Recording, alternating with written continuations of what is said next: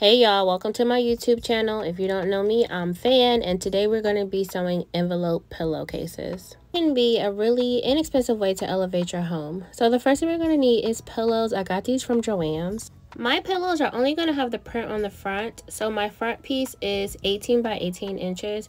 And then I have my black pieces on the back, which are 18 by 11 inches wide. And you'll need two of those.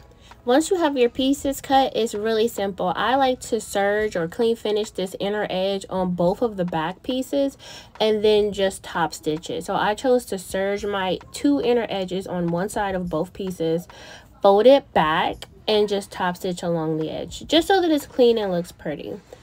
Then you're going to line your pieces up with your print or same fabric. In my case, it's a print because I'm only doing the print in the front. Overlap by matching the corners that are not finished. Pin your corners all together, get it all clean, and then we're going to just stitch all the way around.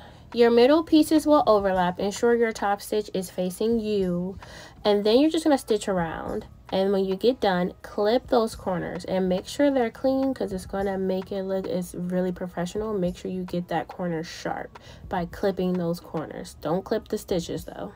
So the next thing I did was I took my little point turner or whatever you use just to push out those corners to make sure that it's super sharp. And then basically you start the process of putting your pillow inside. So you have your opening, make sure all the corners is pushed out. And then you take your pillow and put it into half of the pillowcase. And you will see that here.